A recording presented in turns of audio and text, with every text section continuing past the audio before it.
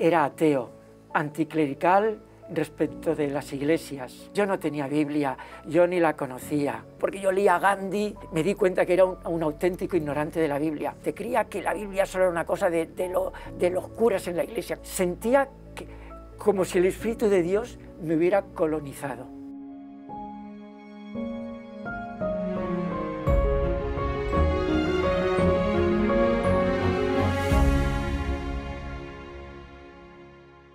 Bienvenidos mis queridos amigos telespectadores que presenciáis este bonito programa Sobrevive, que de nuevo estamos con vosotros y presentando en esta ocasión a un amigo, a un personaje muy muy interesante. Él se llama Manuel Pastor. Manuel, ¿cómo te encuentras? Muy bien, Javier. ¿Te encuentras bien? Muy bien. Aquí en este plató, feliz, a gusto. Feliz, a gusto, sí. Estoy agradecido porque me hayáis invitado. Muy bien. Si puedo ser de utilidad para alguien. Perfecto, eso es lo que queremos, que contamos en estos programas, contamos experiencias de vida, de cómo una persona era de una manera, algo ocurre en su vida que se transforma y luego pasa a ser de otra manera totalmente diferente, pero para bien, para mejor. Dime, Manuel. Ya me has hecho un retrato robot rápido. Muy bien, eso es verdad. Pues ahora lo vas a explicar para que nuestros amigos puedan también presenciar ese milagro. ¿Dónde naciste, Manuel? Nací en Alicante, aunque la verdad es que luego toda mi infancia, desde los tres años a, los nueve, los pasé en Irún, provincia de San Sebastián. Ah, eh, ¿Tú siempre has sido creyente? No, no, que va. Yo, mira, en el tema de las creencias, yo he sido, era ateo, eh, anticlerical respecto de las iglesias, era amante de la juerga. Mm. Y lo que yo sí que notaba siempre dentro de mí era un sentimiento de solidaridad con los débiles, ¿no? a favor de la justicia.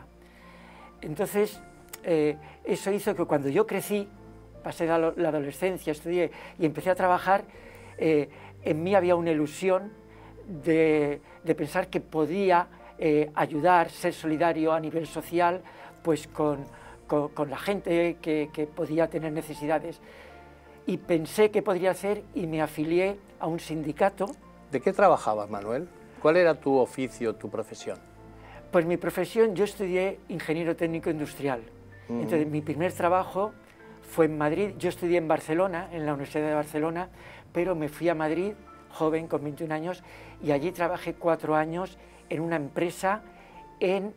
Eh, en, la en informática, que entonces era toda una novedad y yo aprendí con, pues a base de trabajar.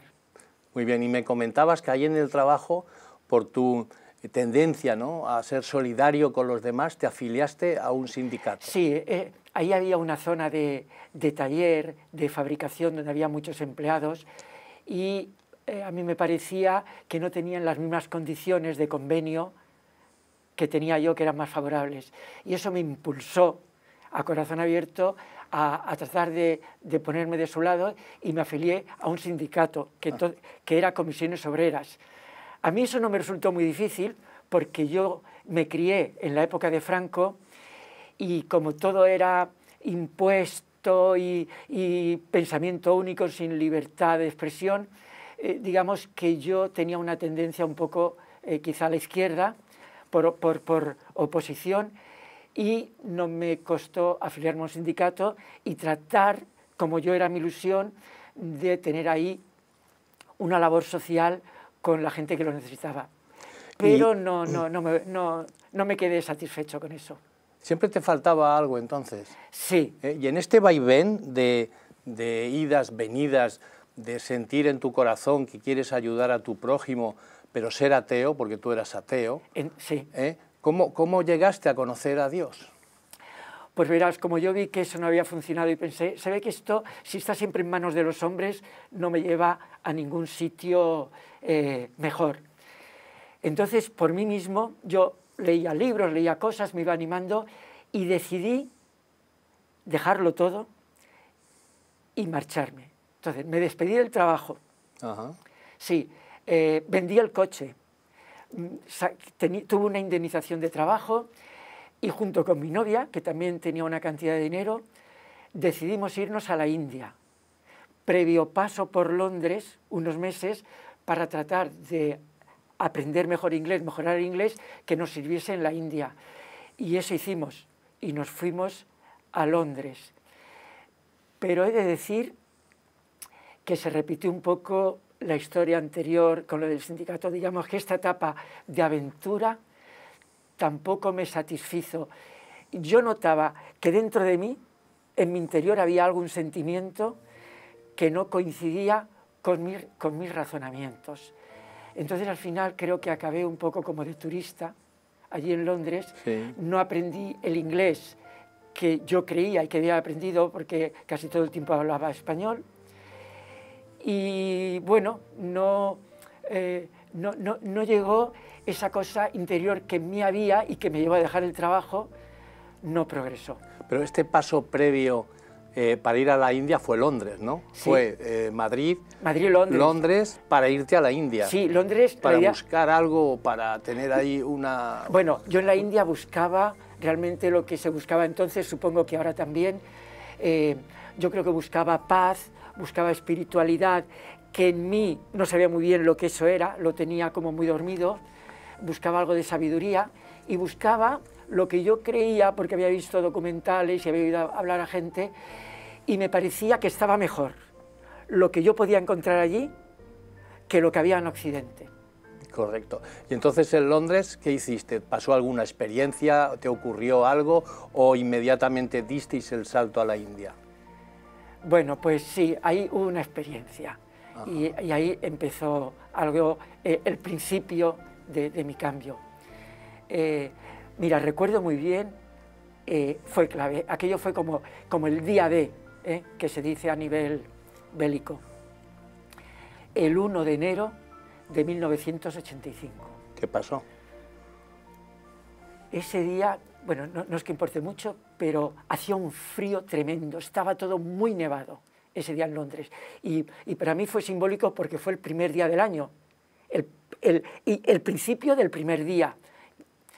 Eh, y yo ya pasé la noche inquieto, desasosegado. Y dentro de, de mí, en mi mente y en mis esqueleto, en mis arterias, en todo, notaba, no sé cómo decirlo, la presencia de Dios. Yo entonces quizá no hablaría de presencia de Dios, pero su pensamiento en mi mente.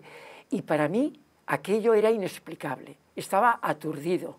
O sea, yo, que, tenía dominio propio de, mis sentimientos, ¿cómo podía tener eso? Y, no podía evitarlo. Sentía como si el Espíritu de Dios me hubiera colonizado. Mira, qué interesante, ¿no? Este tema. O sea, tú siempre habías eh, negado lo que era Dios, porque tú mismo te has definido como, como ateo, pero el Señor, por lo que veo, te estaba persiguiendo de una manera bastante clara y sentiste ese, ese algo de fuera que te acogía sí. y te rodeaba. Sí, sí, yo diría que agrietó o partió mi caparazón la, capa más externa, ¿no? Que más nos aísla. Y por ahí se coló un poco su luz, su espíritu, su silbo, su silbido, que yo creo que me decía, Manuel, estás buscando, porque yo leía Gandhi, leía eh, eh, Eric Fromm, El arte de amar, eh, me quería ir a la India, decía, Manuel, vas a ir buscando, y como diciendo, date cuenta que estoy aquí. Yo creo que me, decía algo así, mira, corta la cinta e inaugúrate. Empieza otra cosa conmigo que no esperas y, es, y, será la solución. Eh, fue, fue, impresionante eh, notar eso. Qué bueno, ¿no? Bueno, pues sigue contando. ¿Y qué, qué, pasó luego? Porque después de esa experiencia ¿no? espiritual que tuviste, ¿qué ocurrió luego? ¿Qué decisiones tomaste? Pues yo tomé una decisión radical. Decidí, estaba en Londres todavía, decidí volverme a Alicante. En aquel tiempo había vuelto del trabajo de Madrid y residía en Alicante, que es donde me había dejado el trabajo. Eh, porque yo vi que aquello no me lo quitaba de encima de la cabeza y dije, pues será mejor eh, me voy a serenar, voy a afrontar esto, voy a ver si lo entiendo, y a dónde me Así es que volví a Alicante y empecé a leer la Biblia por mi cuenta. Un momento, un momento, pero ¿dónde tenías la Biblia? ¿Qué pasó? ¿Dónde, dónde encuentras una Biblia? Sí, yo, yo, no tenía Biblia, yo ni la conocía. ¿Cómo eh, cae en tus manos una Biblia? Eh, decidí, decidí comprar una. Ah. Eh, vamos a ver, yo pensé, si estoy notando aquí a Dios, este Dios que yo me parecía que, que, que solo estaba eh, en los conventos, eh, como en la idea de los curas, y, ahora me, está secuestrando mi ser, lo que yo soy. y hay un libro, que es la Biblia, que lleva más de dos mil años funcionando y nadie ha podido con él. Y al revés, ahora me había enterado que era el libro más vendido y más traducido en todo el mundo. Dije, pues yo tengo que comprar este libro voy a leerlo, que es lo que yo decía, voy a, serenarme, a afrontar esto, a ver qué, qué descubro aquí o a dónde me lleva. A ver si te da alguna respuesta a Dios a través de su palabra, ¿no? Sí, y ahí eh, empecé a leer la Biblia por mi cuenta y descubrí... ¿Qué descubriste? Pues mira, una sorpresa, porque descubrí, yo creía que, eh, que, que la religión, yo asociaba cristianismo con religión y religión con curas. Claro, lo que nos enseñaron de pequeño en el colegio. Eh, no con Biblia con Jesucristo, eso es lo que yo había aprendido en el colegio, más historia sagrada, catecismo. Entonces eh, era un ignorante, me di cuenta que era un, auténtico ignorante de la Biblia. Y yo, sorpresa, ¿qué pasa al leer la Biblia? que yo voy descubriendo que es un manual de conducta, Leo porque voy leyendo algo de proverbios, de salmo, veo que es un manual de conducta, es un manual de, comportamiento, de salud. Y yo esto no lo podía ni imaginar, porque era un ignorante. Creía que la Biblia solo era una cosa de, de los curas en la iglesia. Como yo ya no tenía un buen concepto, Tú pensabas que era una liturgia, un ceremonial, Exactamente. una serie de reglas. La liturgia que... siempre, mira, el color de la casulla de los curas en Semana Santa, en Cuaresma, la estola, eh, bueno, una cosa inservible para mí, inservible, impuesta a, capón. Y entonces, esto fue una... Y, y ¿sabes qué sentí? Antes había dicho eso de que se me agrietó el caparazón, pues sentí como si me hubiera quitado una capa de la cebolla, de esta cebolla silvestre de mi alma, eso me hizo quitarme una capa. El descubrir que la Biblia no, no era esa liturgia inservible, sino un manual, en principio para mí, de conducta, de salud, de, de fe, de conocer. Eh, eh, ¿Encontraste entonces ahí a un Dios más compasivo o un Dios justiciero como el que nos enseñaron a nosotros. Claro, eso fue otro descubrimiento que hice. Eh, ese Dios justiciero y, que los curas utilizaban, por lo menos así lo entendía yo, ¿no? Eh, para salvar y condenar a los fieles o para perdonar pecados por dinero. Eh, dinero para obras de la iglesia. Yo, mira, para un escéptico como yo y ateo, hasta eso me parecía que, eso no podía ser, no era coherente que, que, el Dios fuese eso. Entonces yo en la Biblia descubrí que, que Dios no era eso. Eh, fíjate, hasta, hasta las películas esas de, que veíamos en aquellos tiempos de Quo Vadis y de los Diez Mandamientos, yo veía a un Dios compasivo, a un Jesucristo que estaba con los pobres, con los necesitados, y, y no con los ricos, ni siquiera con la jerarquía eclesiástica. Entonces ahí yo descubrí a un Dios eh, compasivo, que, perdona, que, que, está con el creyente, con aquel que le busca, sin, sin excluir a nadie. ¿Descubriste también un Dios dadivoso que no obliga a nadie, sino que es un Dios respetuoso con tu persona? Claro, e, e, eso conmigo, a mí Dios no, no me obligó, se me presentó, Él, él me, dijo, mira, eh, aquí hay un camino que seguramente es el que tú buscas. Si quieres lo sigues y si no, no. Eh, yo podía tenerlo a Dios en el centro de mi vida o, o el centro ser yo mismo, pero Él no me obligó de ninguna manera. Él solo me, me mostró su amor y me ayudó a salir de... Bueno, de todas eh, las historias. De todas las historias. Y que seguramente esa espiritualidad que yo quería buscar en la India, aunque luego al final fui, eh, no era seguramente lo que iba a saciar mi sed. ¿Sabes? La sed del hombre, eh, o sea, el alma del hombre es insaciable.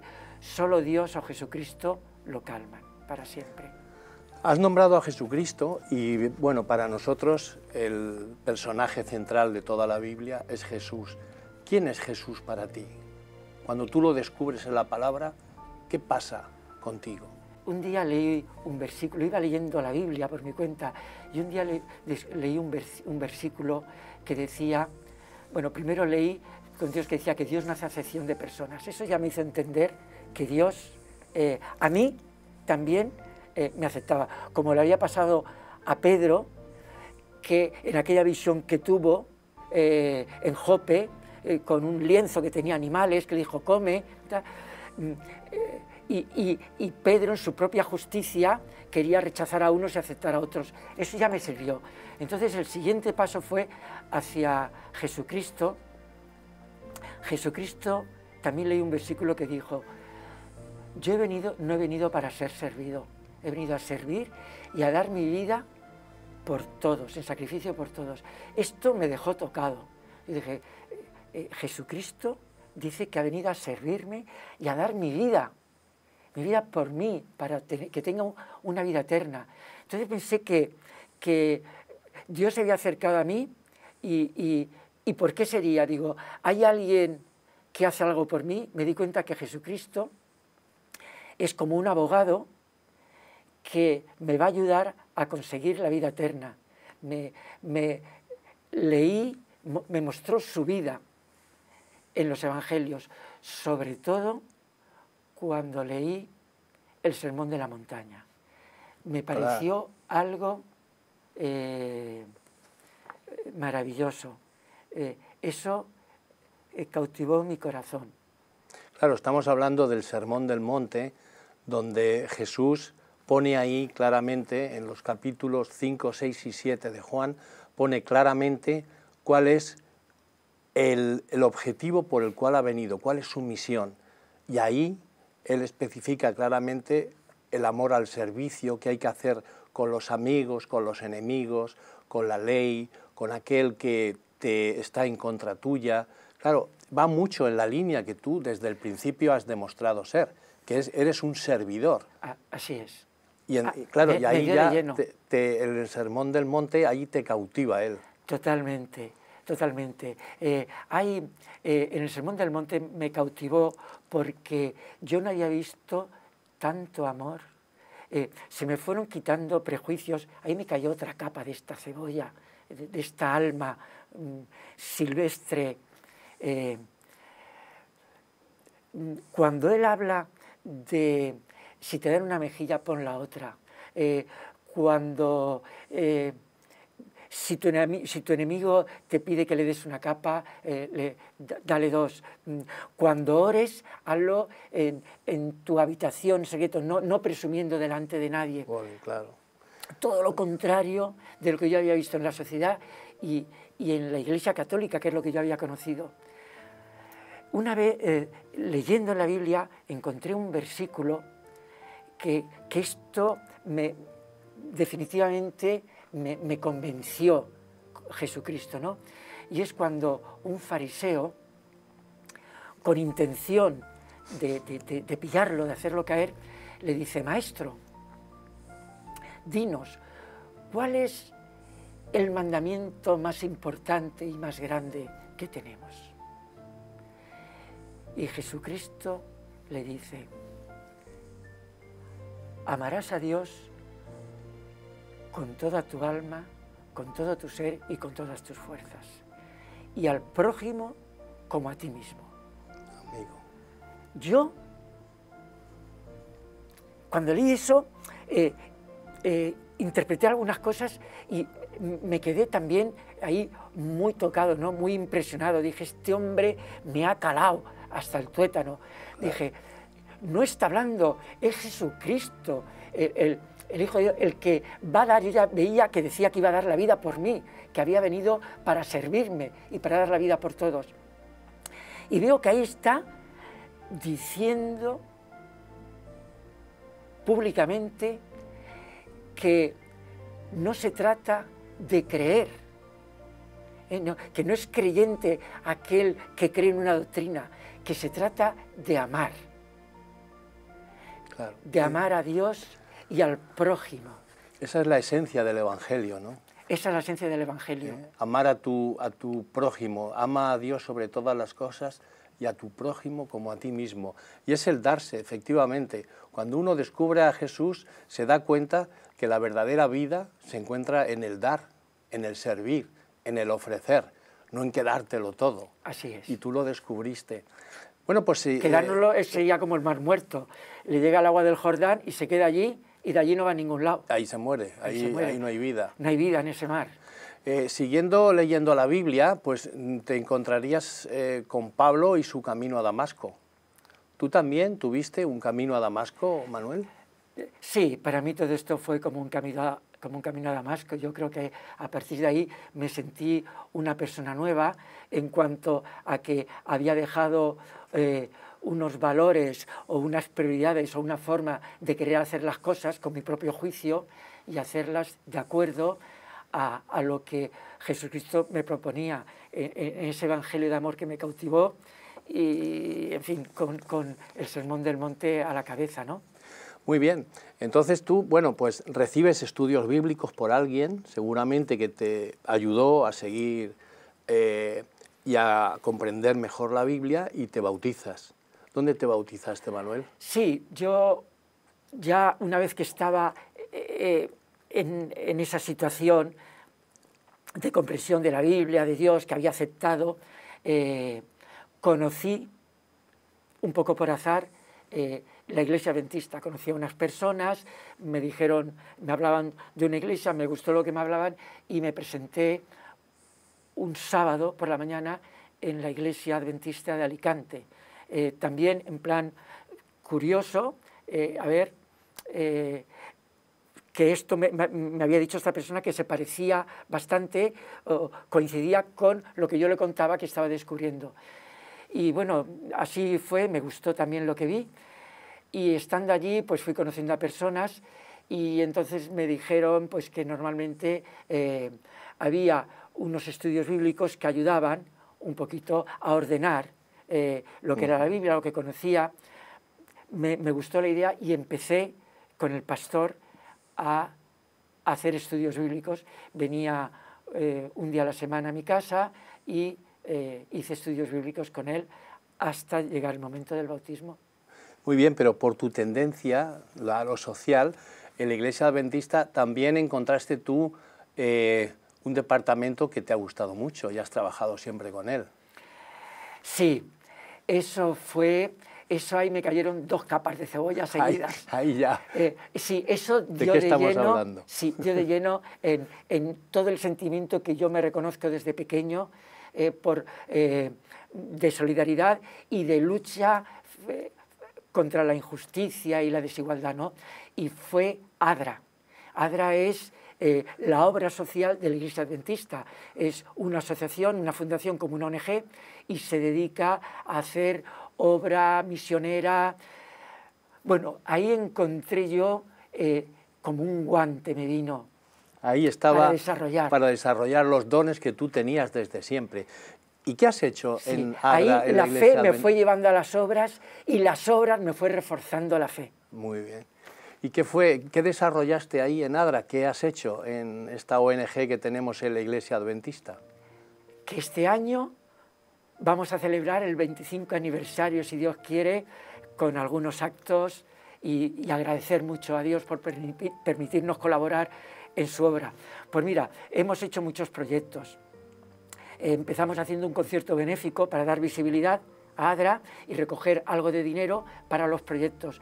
Íbamos a visitar residencias de ancianos, hicimos un campamento de niños atendidos por los servicios sociales del Ayuntamiento de Sagunto eh, en ocho días en el mes de agosto.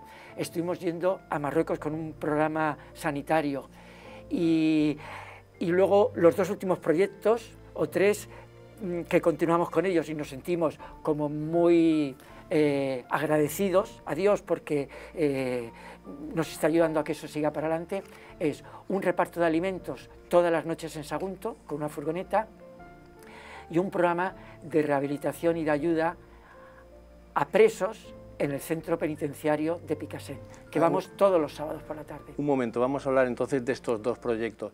Uno fue que estuvisteis en Marruecos. ¿Qué hicisteis allí en Marruecos? En Marruecos empezamos con un programa de convivencia. Llevábamos jóvenes nuestros, la mayoría del colegio adventista, pero fue también algún alumno mío del instituto donde yo trabajaba. ¿Todos voluntarios? Todos voluntarios y todo el mundo que iba se pagaba su billete. Cada uno se sufragaba el, esto, porque Adra no, no es Mercadona que vende algo y, y sacas dinero. Y allí íbamos a orfanatos y a centros de menores. Luego lo ampliamos a un proyecto sanitario y entonces íbamos a aldeas del sur de Marruecos, más allá del Atlas, eh, con tres médicos, tres enfermeros y dos o tres personas más para atender niños, hacer fotos, la farmacia y se hacía una atención sanitaria básica de la población de, de las aldeas de montaña.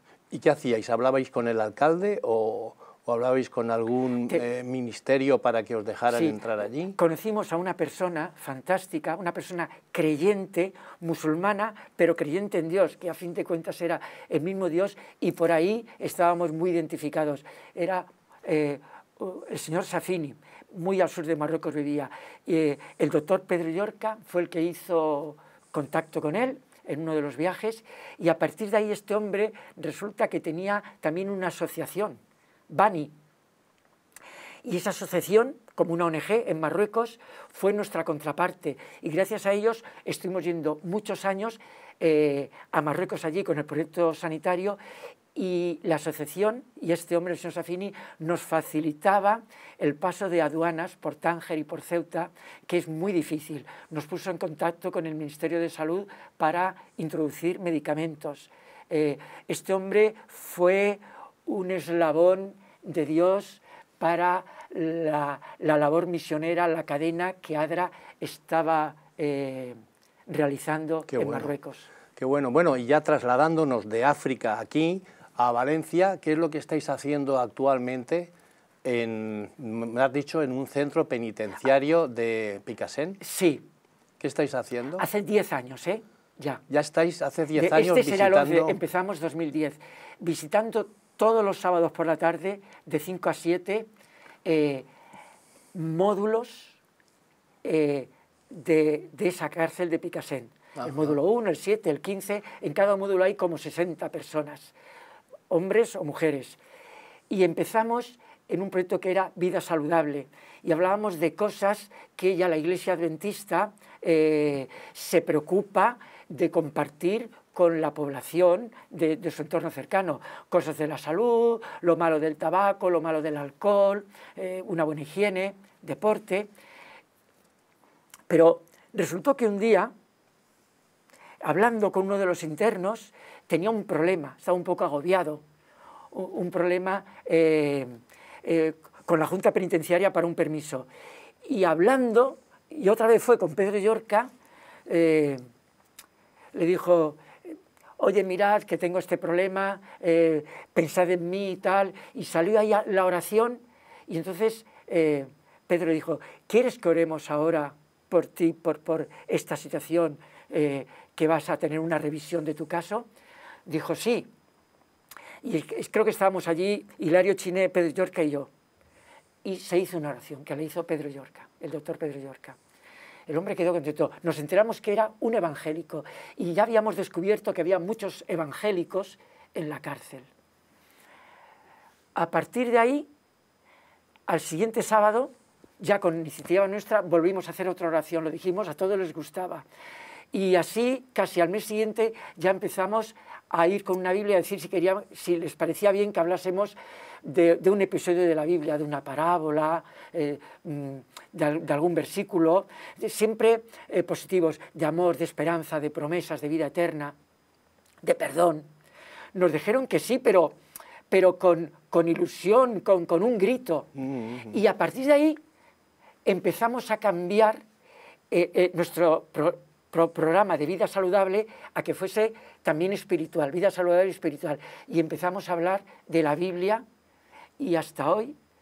Ahora es mucho de la Biblia, no, no, nos dicen que no lo hagamos y hablamos de historias de valores, pero que siempre se refuerzan con versículos bíblicos. Claro Y hasta hoy, y somos un grupo de casi 20 voluntarios, viene gente de una iglesia adventista que hay en Valencia, que es la iglesia de Timoneda, y la iglesia eh, y, de Adra de Sagunto, y nos vamos turnando, hay un calendario hecho, y cada sábado van equipos de dos y visitan dos módulos, y normalmente van tres equipos y entonces se visitan seis módulos. Y, ayudáis a las personas que hay dentro, pero ¿y a las familias de estas personas también se irradia esta ayuda? Sí, sí, eh, lo pasan mal, están solos. Hay gente que, que tienes a lo mejor su madre, otros tiene la pareja, o, y a veces con algún hijo pequeño. Más allá de lo que hayan hecho, sufren y, lo pasan mal. Y, pero el que está fuera también lo pasa muy mal. Entonces, alguna vez nos han dado el teléfono y hemos llamado a la esposa o a la madre y necesitaban algo. Entonces, a veces les hemos ayudado con una cesta de comida, les hemos podido pagar un mes de alquiler de la casa, les hemos ayudado en el hospital. Hubo una mujer que estaba embarazada embarazadísima ya, a punto de dar a luz. Y de hecho coincidió, y entonces una voluntaria nuestra, Delia, eh, la acompañó al hospital y otro voluntario, Benny, que hizo de chofer, y la acompañó al hospital y, estuvieron con ella en el parto, hicieron fotos, luego se la enseñaron al marido que estaba ahí dentro. Muy bonito, sí, pero no solo eso, cuando han tenido algún permiso, de, que les dan permisos de cinco días, de jueves a lunes, ha habido varios que al salir, hay bastantes que son de la zona de Valencia o cercana, han venido a visitarnos a Sagunto y hemos hecho una comida fraternal, hemos estado juntos, alguno ha venido a la iglesia, sabe que vamos a la iglesia los sábados y ha venido, ha querido estar en la iglesia donde estamos, que les hablamos nosotros y decir, pues si esto es lo que a mí me, me, me, esponja el alma y me hace estar con ellos. Qué bonito. ¿eh? Experiencias muy bonitas. Qué experiencias muy bonitas, tanto en el extranjero como cerca de casa, pero siempre sirviendo. Así que Jesús te llevó pues, de una manera pues, bastante peculiar, te llevó de tu ateísmo, de tu sindicato de comisiones obreras, ¿eh? te llevó a una experiencia real con Él a través de la palabra de Dios, donde conociste al Padre y también te mostró a Jesús, a nuestro Señor y Salvador, y has estado sirviendo, pero ya de la mano de Jesús. Esto es fantástico, ¿eh? lo que nos estás contando, Manuel. Sí, Sí, a veces me parece un poco, eh, no sé, recordando hasta los 30 años casi lo que era, me parece, eh, eh, no sé, un poco muy sorprendente, un poco alucinante que vivía mi vida haya dado este cambio. Si alguno de mis amigos de aquella época, de la tuna, que yo iba con la tuna y con la tuna, sí, sí, me, pudiese ver. Hay algunos que a veces veo cuando voy a Alicante, no muchos no podría pensar que yo, que dentro de mí estaba la capacidad de dar este paso. Fíjate, ¿eh?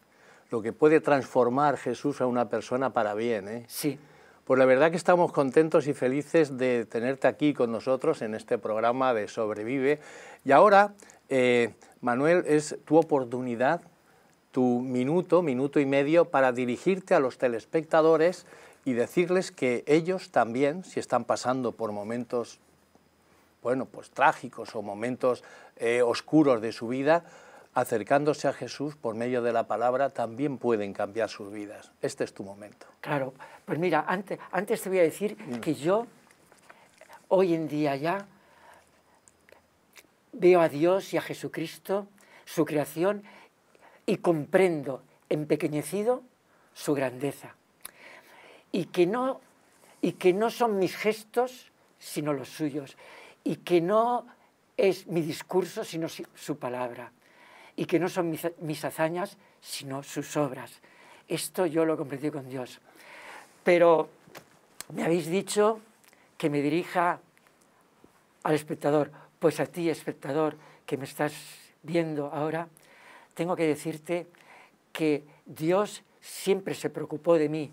Eh, yo no tanto de Él. Él, él me buscó y, se, y estuvo pendiente de mí, y no para pedirme, sino para darme, para darme el camino, la verdad y la vida. Como dice en Apocalipsis 3:20, yo estoy a la puerta y llamo. Yo te digo, espectador, a ti que me estás mirando, que si te sientes un poquito emocionado o impresionado con mi testimonio hoy con este programa, seguramente es que Dios está llamando a tu puerta. Este es el momento. Y solo te diría algo más. Si crees que amas a Dios y si crees que crees en Jesucristo, necesitas compartir su vida, su mensaje, su creación y, lo que ha hecho contigo. Si te falta algo, quizás el momento de darte a los demás. Cuando te des a los demás, tu vida habrá cambiado y te caerá la última capa de tu alma silvestre y verás a Dios. Pues muy bien, Manuel. Muchísimas gracias por haber estado aquí con nosotros. De verdad que nos has emocionado y es precioso este testimonio que nos has dado. Esto ha sido una catarsis, creo. Me siento ahora, no sé cómo. Y a vosotros, mis queridos amigos telespectadores, también os deseo un feliz día. Que paséis una semana bonita, preciosa, de la mano del Señor. Y nos vemos la próxima para otro testimonio tan emocionante como este.